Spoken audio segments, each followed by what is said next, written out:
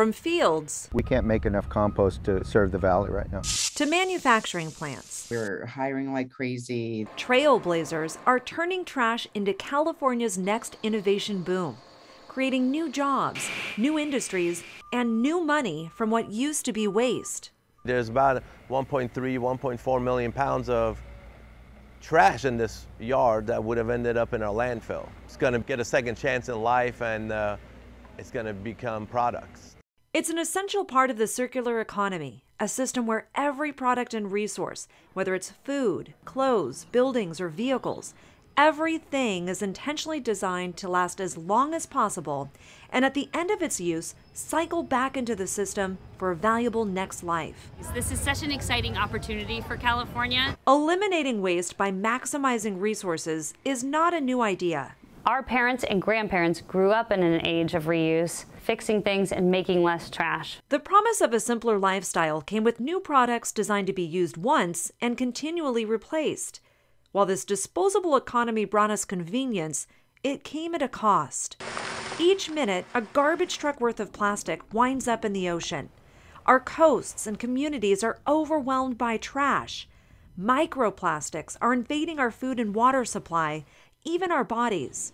Our waste emissions from vehicles, factories, and landfills creates a thickening blanket of pollution that's overheating our planet and fueling climate extremes like California's worst wildfire season, the hottest summer ever recorded, and storms like the massive bomb cyclone that drenched the San Francisco Bay Area. There is no more time to wait. Our planet needs us to take on trash pollution.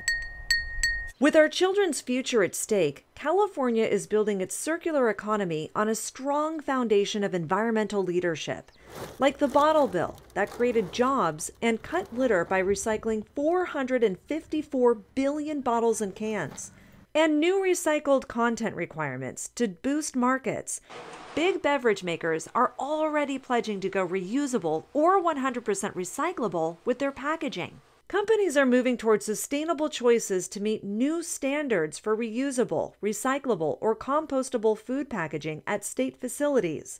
Even Starbucks has announced a plan to eliminate single use cups. This is, you know, looking like soil. And California is turning trashed food scraps, paper, cardboard, and yard waste into valuable new products like renewable biofuel or compost, a superfood for dirt that helps soil retain more water nourish more crops, and pull planet heating carbon from the air.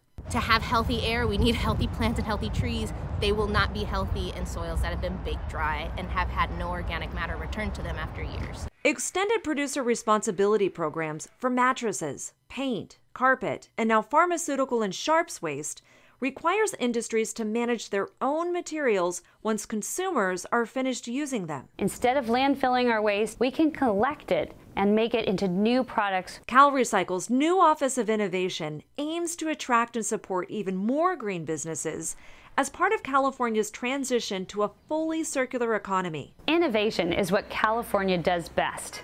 Modern technology has already given us digital versions of products like music, movies, books, magazines, notepads, and maps. Driving. Sharing economies for transportation and lodging. Discussions of circular solutions like subscriptions for goods like appliances and electronics. Sure, the eco strips are dehydrated liquid less detergent. And concentrated cleaning products that require little to no packaging. Services that turn consumers into customers that companies continue to serve with repairs. As the fifth largest economy in the world, California is looked to as an environmental leader. We show the rest of the world how to make the future better and safer. Instead of filling our planet with waste, we can design our financial future to reduce, reuse, and remanufacture our materials, turning trash into America's next boom industry.